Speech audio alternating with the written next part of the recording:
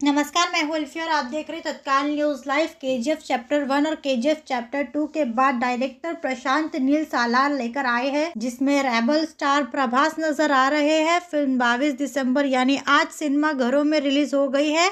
जिसके चलते सालार का फ़र्स्ट डे, फ़र्स्ट शो देखने वालों की भीड़ थिएटर के बाहर लग गई है।